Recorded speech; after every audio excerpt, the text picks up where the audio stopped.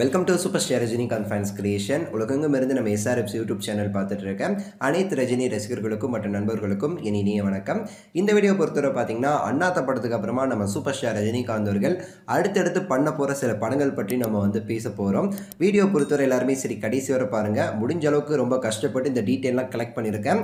So கொஞ்சம் share பண்ணிவிடுங்க இந்த ஃபேஸ்புக்கு வாட்ஸ்அப் குரூப்லாம் இருக்குது பார்த்தீங்களா? தயவு செஞ்சு கொஞ்சம் ஷேர் பண்ணிவிடுங்க ஸோ உங்ககிட்டேருந்து நான் எதிர்பார்க்குற ரெண்டு விஷயம். ஒன்று நீங்கள் ஷேர் பண்ணுறது இன்னொன்று இந்த வீடியோக்கு வந்து லைக் பண்ணுறது லைக் பண்ணாதவங்க லைக் பண்ணிவிட்டு வீடியோ வந்து தொடர்ந்து பாருங்கள் ஸோ அதை பற்றி பேசுறதுக்கு முன்னாடி சில விஷயங்கள் நம்ம வந்து சொல்லலாம்னு நினைக்கிறேன். தலைவர் வந்து அண்ணாத்த படத்துடைய அந்த ஷூட்டிங்க்கு வந்து போனார். அவருக்கு வந்து உடம்பு சரியில்லாமல் போச்சு. கட்சி ஆரம்பிக்கலான்னு சொன்னார்.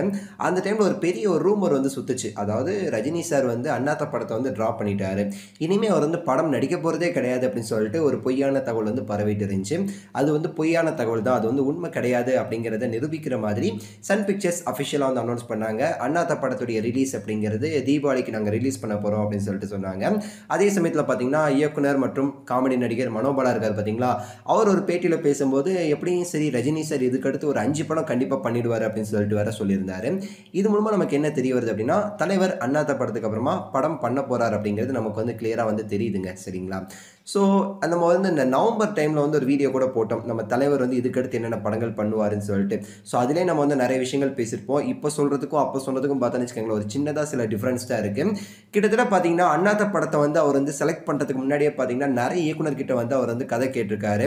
அந்த கேட்ட இயக்குனர்கள் இருக்காங்க பார்த்தீங்களா? அதில் கிட்டத்தட்ட ஒரு பத்து பேர்கிட்ட அந்த கதை பிடிச்சி போய் நல்லா இருக்குது நம்ம வந்து பண்ணலாம். நீங்கள் வெயிட் பண்ணுங்கள் அவங்களுடைய வேலையை போகிற பாருங்கள் அந்த சமயத்தில் நான் வந்து சொல்கிறேன்னு சொல்லிட்டு அவங்கள்ட்ட வந்து சொல்லி வச்சுருந்தார் தலைவர்.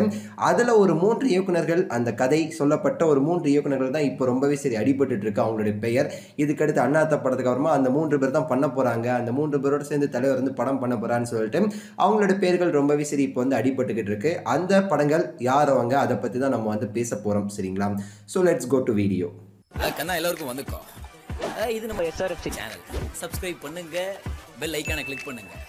வர்ற வீடியோ சந்தோஷமா பாருங்க.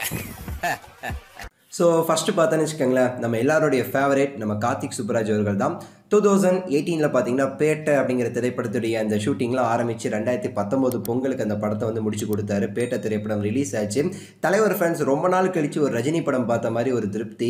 அந்த தர்பார் படத்துக்கு அப்புறமா அடுத்த படம் தலைவர் யார் கூட பண்ணலாம்னு சொல்லிட்டு பேசும்போது எல்லா ஃபேன்ஸுமே சொன்ன ஒரு பேர் அப்படிங்கிறது தலைவா நீங்கள் வந்து கார்த்திக் சுப்புராஜோட சேர்ந்து நீங்கள் படம் பண்ணுங்கள் அவரோட நீங்கள் சேர்ந்து படம் பண்ணணும். அவர் தான் கரெக்டாக வந்து ரஜினி ஃபேன்ஸ்க்கு எடுத்த மாதிரி ஏற்ற மாதிரி அவர் வந்து படம் எடுக்கிறாரு.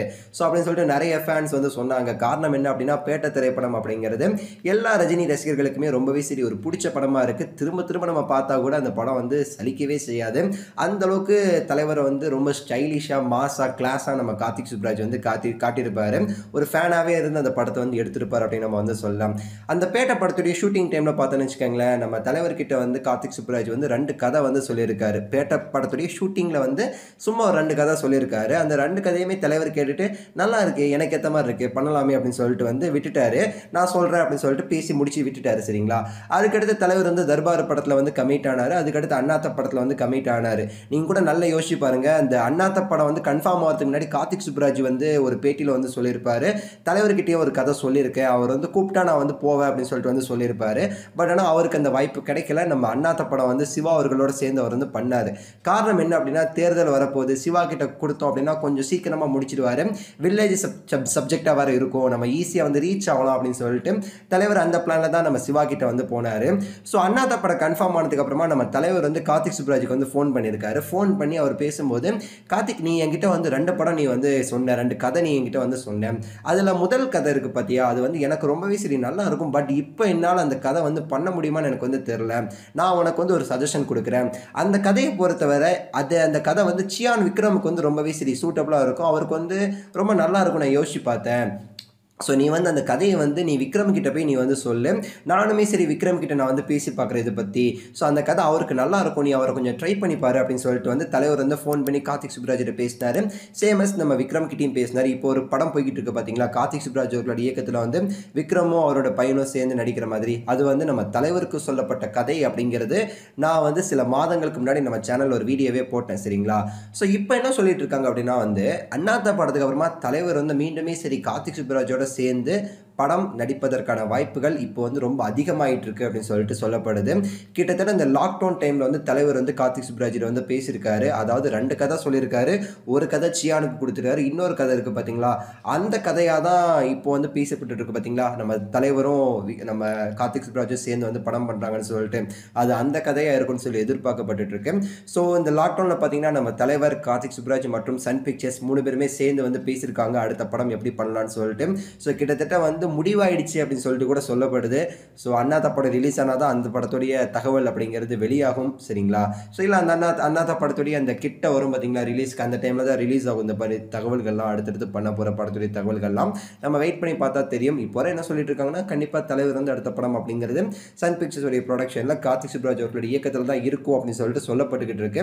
பொறுத்திருந்து பார்க்கலாம் சரிங்களா? இது வந்து முதல்ல சொல்ல வேண்டிய சில விஷயமா இருக்குது அதுக்கடுத்து ரெண்டாவது பார்த்தோன்னு வச்சுக்கோங்களேன் இப்போ சமீபத்தில் கூட அது கூட ட்ரெண்ட் ஆச்சு. நம்ம கே எஸ் ரவிக்குமார் அவர்கள் தாங்க கே எஸ் ரவிக்குமார் அவர்களுடைய அந்த ராணா அப்படிங்கிற கதை வந்து தலைவர்கிட்ட வந்து சமீபத்தில் வந்து தலைவரே கூப்பிட்டு வந்து ரவிக்குமாரை வந்து கூப்பிட்டு கதை சொல்ல சொன்னாரா? அந்த ராணா பற்றி கொஞ்சம் சொல்லுங்கன்னு சொல்லிட்டு திரும்ப தலைவரே என்கிட்ட கேட்டார் ராணா படத்துடைய கதையை. அப்போ அவர் சொன்னார் இந்த படம் பண்ணலாம் எனக்கு ரொம்ப ஆசையாக இருக்குது ஆனால் இந்த மாதிரி படம் பண்ணணும் அப்படின்னா நான் இன்னுமே சரி கொஞ்சம் ஸ்ட்ராங் ஆகணும் கொஞ்சம் வலுவாகணும். என்ற ஒ- என்னோட உடம்பு வந்து இப்போ கொஞ்சம் வீக்காக இருக்குது இந்த மாதிரி படம் பண்ணணும்னா இன்னும் கொஞ்சம் உடம்பு வந்து ஸ்ட்ராங் ஆகணும்.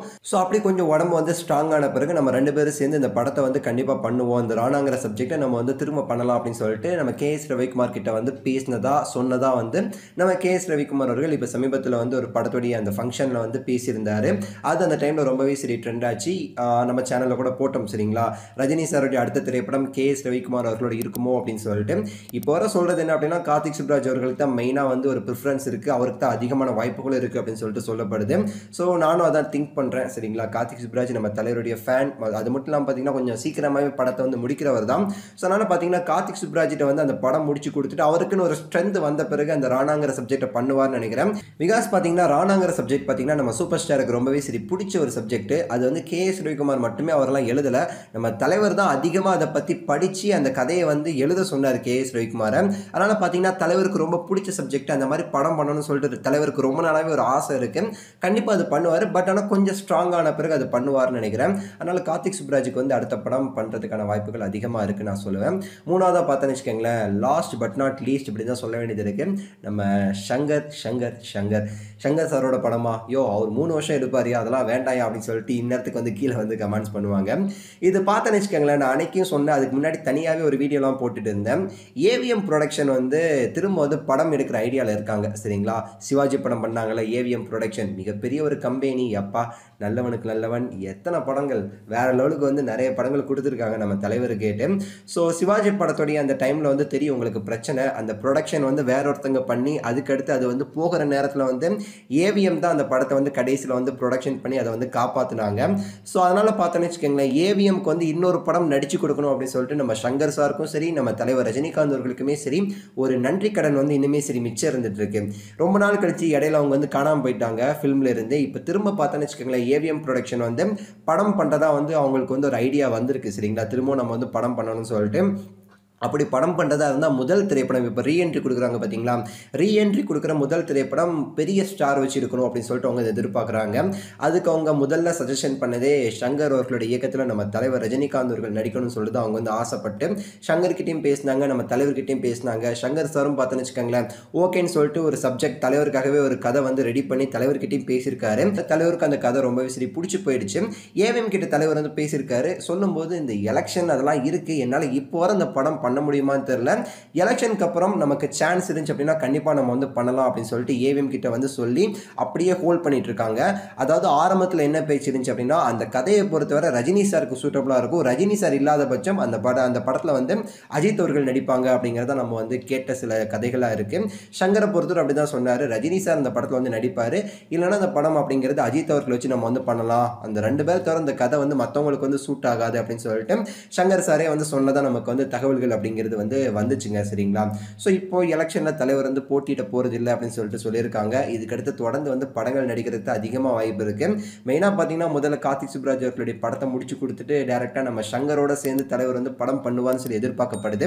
சங்கர் படம் நினச்சோன்னா நீங்கள் two point O three point ஒர்க்லாம் போயிடாதீங்க. அந்த சப்ஜெக்ட்லாம் கிடையாது. நம்ம சிவாஜி மாதிரி ஒரு கமர்ஷியல் ஃபில்மாக தான் அவர் எடுப்பார்னு நினைக்கிறேன். அந்த மாதிரி சப்ஜெக்ட் தான் வந்து சொல்லியிருந்தாங்க சரிங்களா? ஸோ சங்கர் அவர்களோட சேர்ந்து தலைவர் ரஜினிகாந்த் அவர்கள் படம் பண்ணுறதுக்கு அதிகமான வாய்ப்புகள் இருக்குது அப்படிங்கிறத நான் வந்து சொல்லிக்கிறேன் நோட் பண்ணி இதெல்லாம் எழுதி வச்சுக்கோங்க சரிங்களா? ஸோ இது வேணால் நடக்கலாம். நம்ம இன்றைக்கி சொல்கிற நியூஸ் வந்து பத்து நாள் கழிச்சு இன்னொரு செய்திகளில் வருது. அதாவது இப்போ சொன்னேன்ல அண்ணாத்த படத்துடைய ஷூட்டிங் வந்து திரும்ப வந்து பிப்ரவரியில் வந்து ஸ்டார்ட் பண்ணுறாங்கன்னு சொல்லிட்டு இப்போ வந்து எல்லா இடத்துலையும் பேசப்பட்டுருக்கு இதே செய்தியை பார்த்தீங்கன்னா கரெக்டாக வந்து ஒரு இருபது நாளைக்கு முன்னாடி நம்ம சேனலில் வந்து போட்டேன். சரிங்களா? சென்னையில் துவங்கும் அண்ணாத்த ஷூட்டிங் அப்படின்னு சொல்லிட்டு நான் வந்து போட்டேன். அந்த டைமில் மற்றையவனுமே அதை பற்றி பேசவே இல்லை. ஸோ இப்போ வந்து அது எல்லா இடத்துலையும் வந்து பேசப்பட்டுருக்கு பிப்ரவரி இறுதியில் வந்து ஆரம்பிக்கிறாங்க அப்படிலாம் சொல்லிட்டு. ஆனால் இப்போ ஆரம்பிக்கிறது வந்து ஹைதராபாத்தில் தான் ஆரம்பிக்கிறாங்க. ஆரம்பத்தில் பிளான் பண்ணாங்க. பிப்ரவரியில் வந்து சென்னையில் வந்து அண்ணாத்த படத்துடைய ஷூட்டிங் வந்து திரும்ப ஸ்டார்ட் பண்ணலாம்னு சொல்லிட்டு ரஜினி சட்லாம் பேசி வந்து பிளான் பண்ணாங்க. அது வந்து நடக்கிறதா கிட்டத்தட்ட கன்ஃபார்ம் ஆச்சு. திரும்ப வந்து ஹைதராபாத்துக்கே போயிடலான்னு சொல்லிட்டு அவங்க வந்து பிளான் பண்ணி தான் இப்போ வந்து பிப்ரவரி இறுதியில் அல்லது மார்ச் ஆரம்பத்தில்னு சொல்லிட்டு டேட்டை வந்து மாற்றிருக்காங்க ஹைதராபாத்தில் திரும்ப வந்து அந்த செட்டெலாம் வந்து ரெடி பண்ணணும் பார்த்தீங்களா அதுக்கான டைம் தான் இது. சரிங்களா? அப்படி இப்போலாம் போய்கிட்டு இருக்கு. சரிங்களா? தலைவரை பொறுத்தவரை அடுத்த படம் அப்படிங்கிறது கார்த்திக் சுப்ராஜ் அடுத்து வந்து கே எஸ் ரவிக்குமார் நம்ம சங்கர் சார் இந்த மூன்று நபர்களோட சேர்ந்து பண்ணுறதுக்கான வாய்ப்பு அதிகமாக இருக்குது சேம் பார்த்தீங்கன்னா லோகேஷ் கனகராஜ் அவர்களுடைய பெயர் நான் வந்து சொல்லாமல் இருக்கவே முடியாது. லோகேஷ் கனகராஜ் அவர்கள் கூடயும் சேர்ந்து தலைவர் ரஜினிகாந்த் அவர்கள் படம் பண்ணலாம். ஏன்னா தலைவரே வந்து ஒரு வாக்குறுதி மாதிரி கொடுத்துருக்காரு லோகேஷை கண்டிப்பாக நம்ம வந்து படம் பண்ணுவோம்னு சொல்லிட்டு. கமல் அவர்களோட சேர்ந்து லோகேஷ் பண்ணுற படம் வேற தலைவர் பண்ண போகிற படம் வேற வேற சரிங்களா? ஸோ அந்த மாதிரி சில தகவல்கள்லாம் இருக்குது ஸோ பொறுத்திருந்து பார்க்கலாம். அதான் என்னால் வந்து சொல்ல முடியுது. ஸோ வீடியோ குறித்து உங்களுடைய கருத்துக்கள் அப்படிங்கிறத மறக்காமல் நீங்கள் வந்து கீழே கமெண்ட்ஸ் பண்ணுங்கள் இந்த மூன்று இயக்குநர்களில் எந்த இயக்குனரோட சேர்ந்து படம் பண்ணால் ரொம்ப நல்லாயிருக்கும் நீங்கள் என்ன நினைக்கிறீங்க? அதை வந்து சொல்லுங்கள் சரிங்களா? ஸோ வீடியோ வந்து லைக் பண்ணுங்கள் ஷேர் பண்ணாதவங்க மறக்காமல் ஷேர் பண்ணுங்கள் வாட்ஸ்அப் ஃபேஸ்புக் குரூப்லாம் சப்ஸ்கிரைப் பண்ணாதவங்க சப்ஸ்கிரைப் பண்ணிக்கோங்க. சேர்ந்து ஒரு பெல் ஐக்கானை கிளிக் பண்ணி ஆல் கொடுத்துக்கோங்க. அடுத்த ஒரு தலைவருடைய சூப்பரான வீடியோக்களில் உங்களை மீண்டும் சந்திக்கின்றேன். நன்றி வணக்கம். மகிழ்ச்சி. நீங்கள் பார்க்குற வீடியோ ஏதாவது ஸ்க்ரீனில் இருந்தது அப்படின்னா அதை கிளிக் பண்ணி அந்த வீடியோவை பார்த்துக்கோங்க.